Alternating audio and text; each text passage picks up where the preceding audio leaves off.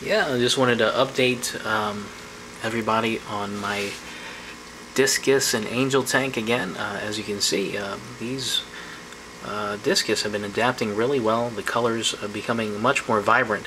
Uh, there you can see the multicolored red one and the blue one. Uh, um, uh, you can see the red much deeper this time and as far as the blue, um, even more shiny and um, radiant than ever before. Uh, yeah, I know some of you have been uh, saying that I have my tank is too small, but uh, again, these are uh, these discus are less than a little less than two inches um, in length. It's uh, they're, they're really small discus.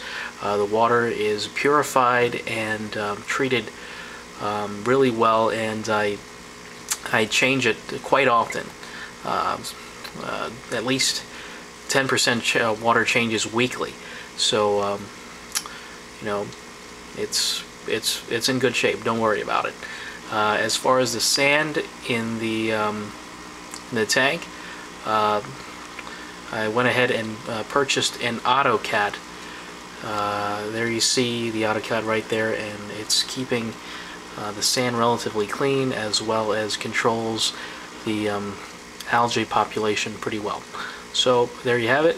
Discus tank, angel tank, everything's fine. Thanks for watching.